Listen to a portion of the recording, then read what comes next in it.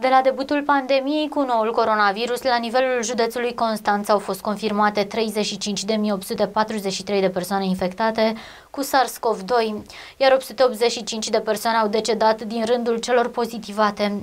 Duminică erau 395 de persoane internate, dintre care 381 din județul Constanța și 14 din alte județe.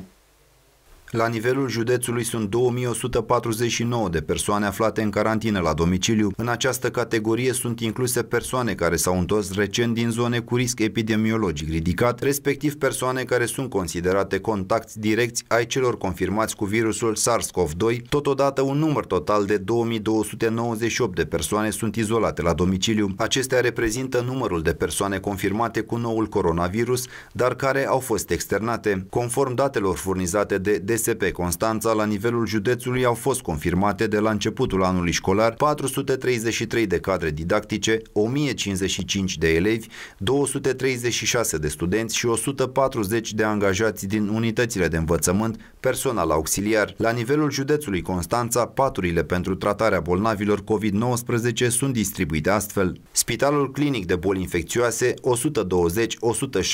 ocupate, Spitalul de Pneumofiziologie, 100 34 ocupate, Spitalul Municipal Mergidia 150, 83 ocupate, Spitalul Municipal Mangalia 121, 101 ocupate, Spitalul Militar Sistem Modular 56, 31 ocupate, secția exterioară a Gigea 55, 30 ocupate. În urma centralizării datelor din toate spitalele și clinicile din județul Constanța, de la începutul pandemiei și până în acest moment, au fost confirmate 1676 de cazuri de infectare în rândul personalului, dintre aceștia 383 sunt medici, 760 sunt asistenți medicali și 533 personal auxiliar.